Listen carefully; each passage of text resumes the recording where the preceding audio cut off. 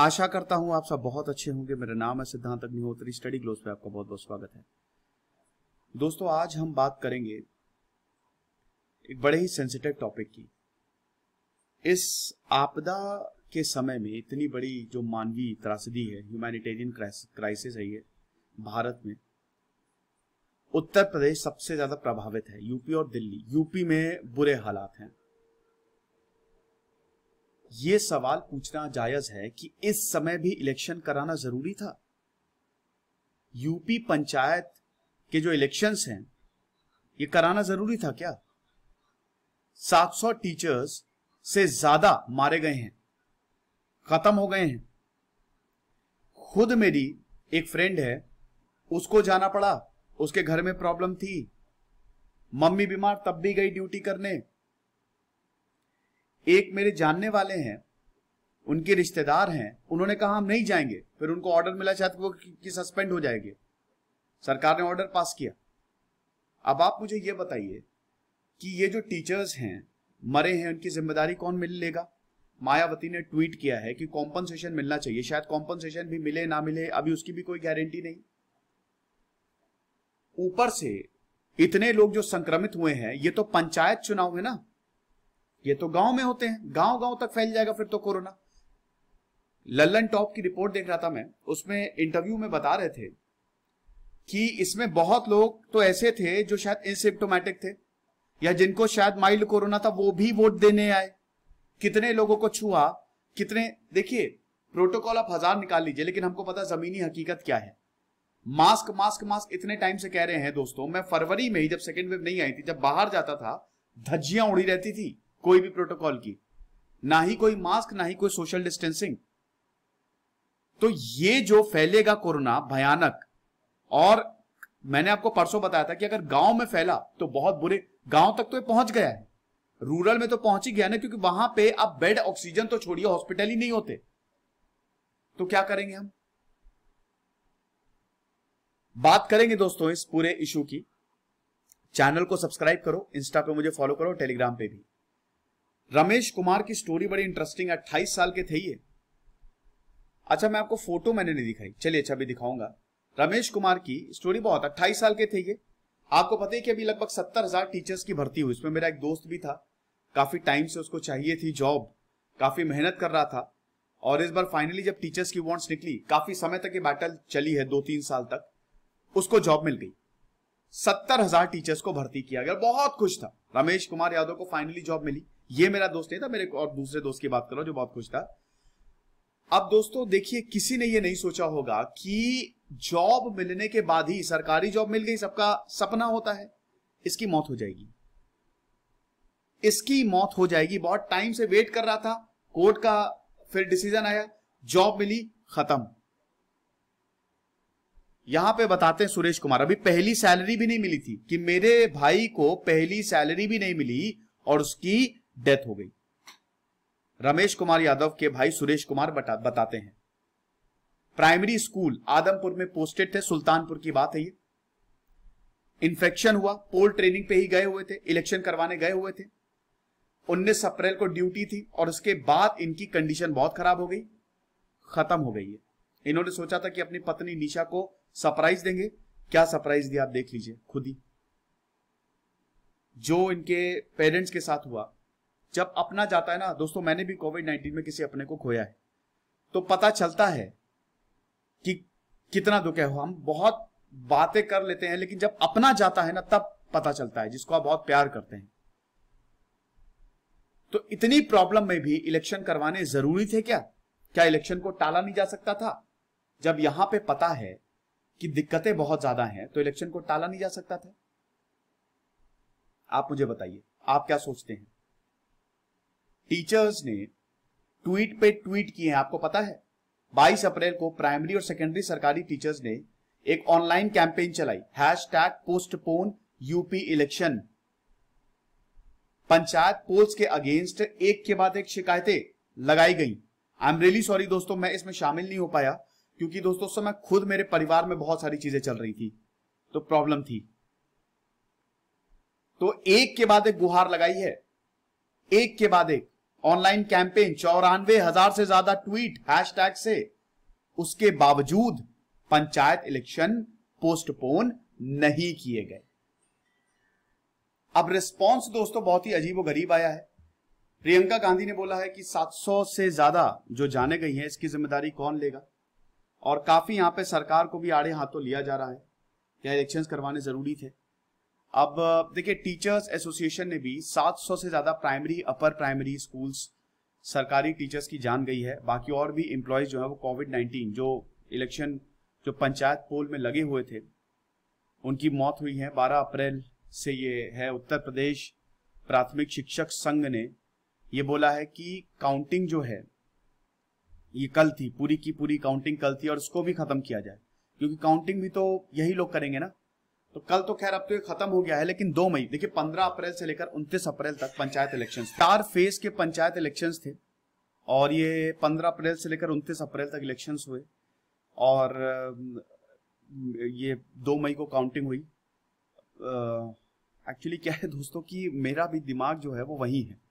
मेरे, मैंने बताया ना कि मेरे कोई बहुत सगे रिलेटिव थे, क्योंकि काम हम रोक नहीं सकते the show must go on तो लेक्चर्स करने पड़ते हैं मुझे। तो दिमाग घूम घूम के वहीं जा रहा है। तो 15 से लेकर उनतीस अप्रैल तक जो इलेक्शंस थे चार फ़ेज़ के वो हेल्ड हुए और काउंटिंग दो मई को थी। तो दो मई को जो काउंटिंग हुई है मतलब वही है कि यहाँ पे उत्तर प्रदेश प्राथमिक शिक्षा संघ ने यही बोला था कि काउंटिंग को तो रोक दो लेकिन दोस्तों कुछ भी नहीं हुआ। और यहाँ पे जो भी टीचर्स मरे हैं जिनकी डेथ हुई है शिक्षक संघ ने उनके नाम जो हैं वो आ, क्या कहते हैं कि उसको बताया है कि ये ये शिक्षक जो है वो मारे गए हैं, ये ये एम्प्लॉय जो है वो मरे हैं। अब दोस्तों minister of state Satish Chandra ने क्या बोला है? एजुकेशन मिनिस्टर है ये यूपी के। There is no specific audit done for basic education department about the numbers of teacher death कितने टीचर्स मरे हैं, इसका कोई भी अभी तक ऑडिट नहीं हुआ। तो ये बहुत गलत है कहना कि जो इलेक्शन ड्यूटी में थे, वो कोविड की वजह से मर गए, क्योंकि ये बोला जा रहा है। अब फ्राइडे को सतीश द्विवेदी ने प्रियंका गांधी को भी क्रिटिसाइज किया, जिन्होंने ये मुद्दा उठाया था। इन्होंने बोला है कि आपकी तो हैबिट है कि आप ट्वीट्स को डिलीट कर देते हैं।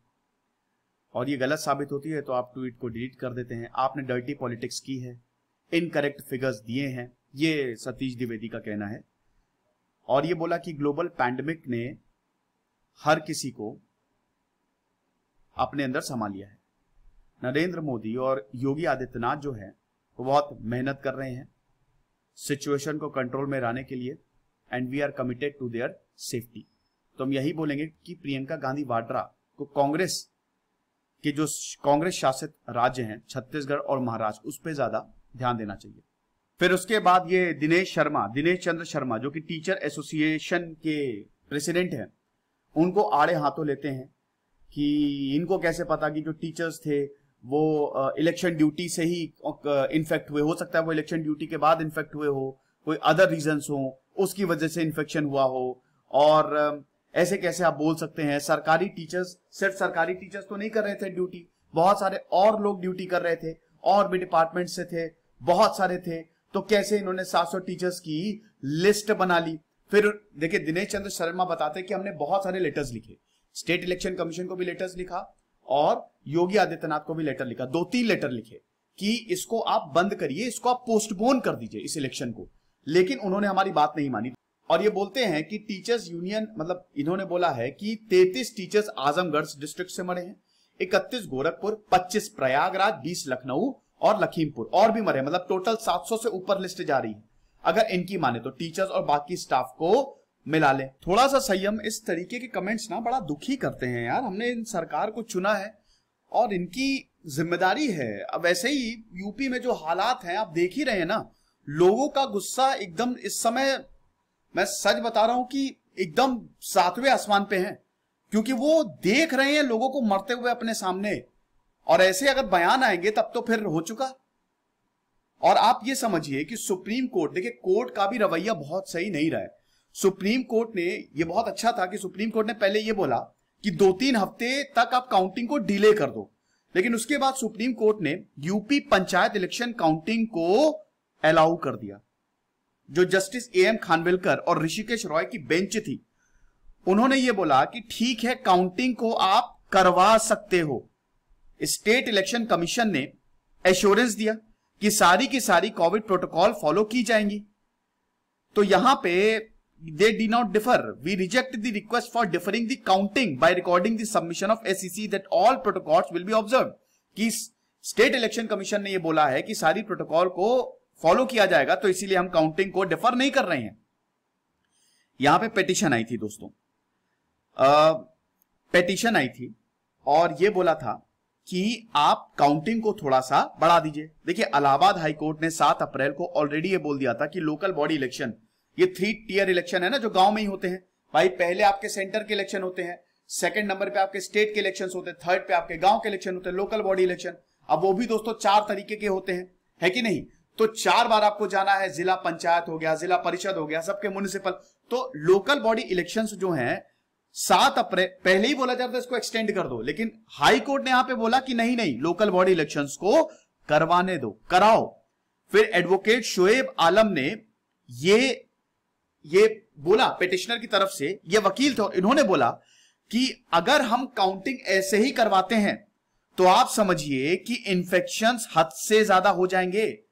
Counting centres can turn out to be beds of infection सात अप्रैल को हालाँकि सब हुआ था तो कोर्ट ने पहले ही बोल दिया कि नहीं नहीं, हम नहीं करेंगे, और आपने देखा कि अभी 700 से ज़्यादा, जैसा टीचर कमीशन बोल रहा है कि 700 से ज़्यादा मतलब टीचर एसोसिएशन बोल रहा है 700 से ज़्यादा टीचर्स ऑलरेडी मर गए। तो बेंच ने यही बोला था सात अप्रैल को कि देखिए we are not inclined to interfere with the counting process तो इलेक्शन कमीशन ने यहाँ पे लेटर दिया।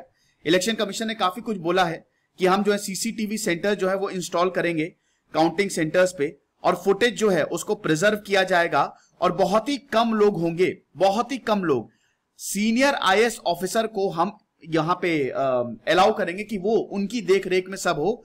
विक्ट्री नहीं दे, ये जो पॉलिटिकल पार्टीज़ विक्ट्री रैलीज करती हैं, वो नहीं करने देंगे। आप मुझे एक बात बताइए, क्या ऐसा होगा? आपके हिसाब से आपको क्या लगता है? हा? नाम नहीं लूँगा, लेकिन दोस्तों, नेता तो ऐसे हैं, इतना कोविड हो रहा था, शादी करेंगे बर्थडे में इतने लोगों को बुलाएँगे रैली करेंगे। आपको लगता है कि क्या ऐसा होगा विक्ट्री रैलीज नहीं होंगी? मुझे तो दोस्तों बहुत डाउट है। अब यही है कि जो है सो है, लिखित है, लेकिन अब कितना होता है वो तो देखना पड़ेगा। फ़िलहाल ये है कि कोर्ट ने भी अलाउ कर दिया है काउंटिंग हो गई है ऑलरेडी अब देखिए, मैं आपको फ़ोटो दिखा रहा था ना हाँ मैं आपको फ़ोटो दिखाता हूँ, ये देखिए, इस तरीके के कुछ हालात थे, ऐसे, है ना? ये तस्वीरें थी, ऐसे ही थी। और, देखिए लोग, कुछ लोगों ने तो मास्क भी नहीं पहना है। मास्क पहना है तो वो भी कैसे पहना होगा, आप देख सकते हो। कोविड नहीं फैलेगा ऐसे में आप बताइए। जब बोला जा रहा मास्क पहनो, डबल मास्क पहनो।